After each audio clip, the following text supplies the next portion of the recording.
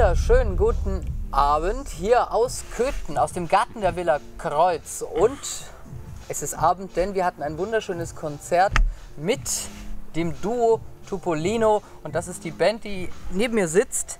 Und meine Fresse kennt ihr schon, aber die wunderschönen Augen von Nina. Entschuldigung. Was? Auf den Hut hatte ich schon abgesehen. Aha. Ähm, es war ja wunderbar. Gypsy-Musik. Du hast professionell Musik studiert und äh, irgendwie hast du aber all deine Sachen zusammengepackt, Nina, und bist irgendwie nach Ungarn. Stimmt das? Genau, nach dem Studium. Wer macht denn sowas? Das ist ja unvernünftig. Es ist total unvernünftig. Und warum hast du es gemacht? ähm, ich musste das machen. Ich wollte dahin. Also ich habe Rucksack und Geige genommen und Ja, was wollte nach Ungarn und ist so wollte diese? Musik da. was ist so unterschiedlich an der, Klass, äh, an der klassischen Ausbildung hier und an diesen Gypsy-Klängen? Also äh, Klassik ist ja was völlig anderes. Es ist ja Musik, die, die steht da geschrieben und dann lernst du, wie du dieses Gespie Geschriebene spielst und interpretierst. Ja.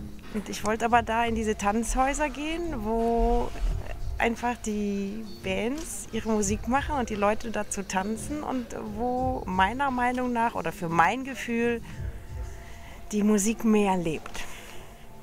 Und vor fünf Jahren hast du Norbert, Norbert Scholli kennengelernt. Oder vorher schon wahrscheinlich kennengelernt, aber 2007 ist Duo Topolino entstanden. Ja, ungefähr. Und was machst du für, was hast du für Musik gemacht? Ja, ich mache die auch heute noch. Das ist überwiegend Jazz, Jazz-verwandte Musik, zeitgenössischer Jazz. Und wir haben jetzt irgendwie mal, als wir uns getroffen haben, entdeckt, dass wir gemeinsame Vorlieben haben für Sachen wie zum Beispiel Balkan-Jazz, Bluegrass-Music, Folk-Music, alles Mögliche. Und so konnten wir das mal zusammenbringen irgendwie. Das hat damals schon angefangen. Wie habt ihr euch kennengelernt? Ja, wir Es haben haben uns sich einige gefragt, seid ihr nicht zusammen? Wir haben uns halt, wir haben uns halt kennengelernt.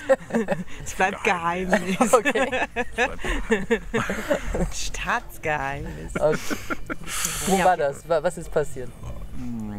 Das war Köln, einfach bei einem Konzert, ne? Ja, ja, mit einem Konzert. Und äh, Und man hat sich haben, halt so kennengelernt und man hat sich gehört. Ich hatte ein Konzert zur gleichen Zeit wie sie. Allerdings sie nach mir im gleichen Ort. Und dann haben wir uns irgendwie angesprochen, mehr oder weniger. Ich weiß nicht, ob ich sie angesprochen habe oder sie mich. Ich, kann, ich weiß nicht mehr genau, wie das war. Das ist schon so lange her. Und ähm, dann haben wir beschlossen, Hausmusik zu machen. Wir haben erstmal gesagt, wir machen unsere kleine Hausmusik. Er meinte, er hat so ein Notenheft mit vielen Liedern aus, was war's? mazedonische Musik. Mazedonische Musik. Also und da ist sie direkt drauf angesprungen. Das fand ich natürlich gut. Elf Achtel, 17, 16 etc. 13 Achtel und so weiter. Solche Geschichten und da ist sie natürlich direkt darauf angesprungen. Und, und so hat man sich dann zum ersten Mal auch verabredet, ne, um sich mal zu Hause zu treffen und das mal auszuprobieren. und haben gespielt und das hat sehr viel Spaß gemacht. Und dann habe haben ich ein alle paar Sachen eingebracht, die ich so im Rucksack hatte von meinen Reisen. Und Genau.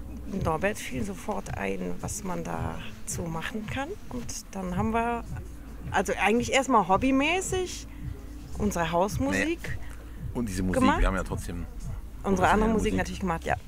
Und dann irgendwann wurde das immer, Genau. So eine zusätzliche. Leidenschaft. ja. Ihr macht ja professionelle Musik, davon lebt ihr und so weiter. Und, Mhm. Ja. und, und, aber das ist auch professionell. Aber Ja. ich, ich sehe zumindest, wenn ihr zusammen da auf der Bühne steht, ähm, die Musik flirtet mit dem Publikum, ihr flirtet miteinander, ihr flirtet mit dem Publikum. Also es ist alles eins. Also, wa- was ist das schönste Gefühl, wenn man da auf der Bühne steht und, und äh, mit dem Publikum eben in den Dialog da tritt? Das ist total wichtig.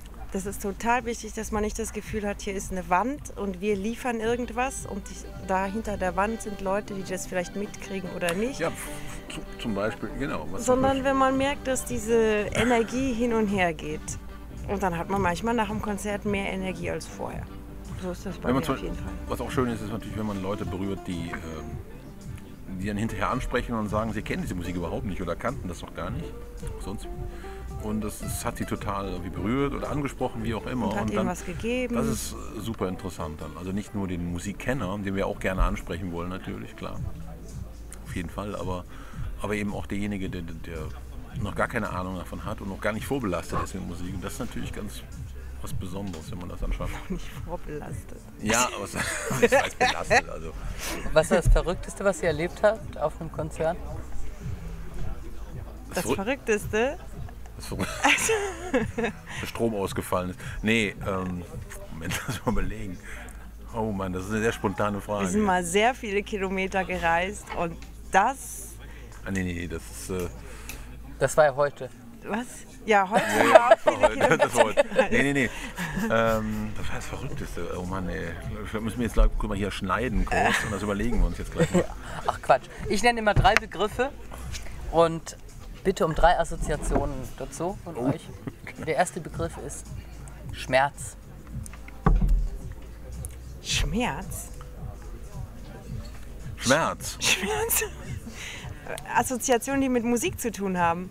Die ihr In jetzt Bezug auf als Schmerz. Musiker, ja. Aufregung. Äh, gehört dazu. Zweiter Begriff, Liebe. Gehört auch dazu. Nein. Leidenschaft. Dritter Begriff, Sexualität. Gehört auch dazu. Ist, ist das gleiche in Grün quasi. Okay. Ihr lebt in Köln. Ähm, wo kann man euch erleben, wenn man in Köln euch erleben möchte? Ich meine, die anderen Termine von euch werden wir sowieso in die Videobeschreibung schreiben, aber wo kann man euch erleben?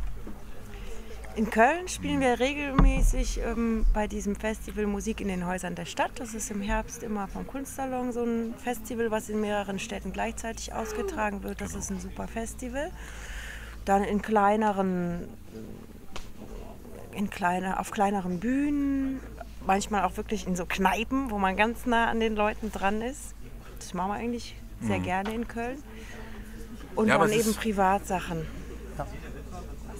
Ja, aber, ja genau, aber, aber es sind meistens auch Gastspiele, ob sie jetzt in Köln sind, es sind teilweise Anfragen und so. Also so richtig regelmäßig ist jetzt auch schwer zu sagen, wo wir da spielen jetzt. Also das einzig regelmäßige war diese Musik in den Häusern, der Stadt, dieses Festival. Aber sonst ist es auch sehr sporadisch, was wir machen, ne? eigentlich. Also, Ihre Leidenschaft, was sie da in Ungarn noch tiefer kennengelernt hat, wie, wie kannst du die teilen? oh, wie kann ich die teilen? Ist Ja, ich stehe halt. Ich, ich Ist wie beim Paartherapeuten gerade, ne? Jazz ist ja eh viel freier.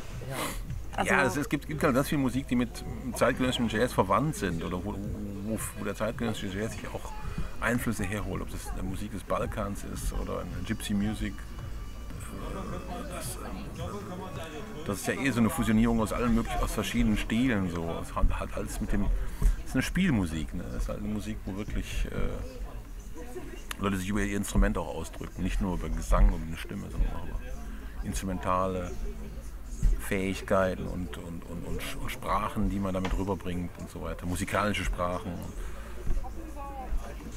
Ja, und da, und da stehe ich halt auch drauf. Und deswegen war das halt ein guter, ein guter Zufall, dass wir da beide letzten Endes das ergänzt sich auch gut. Ich habe das heute gespürt und es war wunderbar. Ich bin großer Gypsy-Fan, bin großer Kesma-Fan. Es war ein wunderschöner Abend für mich. Danke dafür und danke schön auch für dieses Gespräch und für alle, die die beiden erleben wollen. Wie gesagt, Kanalbeschreibung und ansonsten grüße ich all meine Abonnenten und die nächsten Gäste sind Bodo Ramelow und Hertha Däubler-Melin. Bis zum nächsten Mal.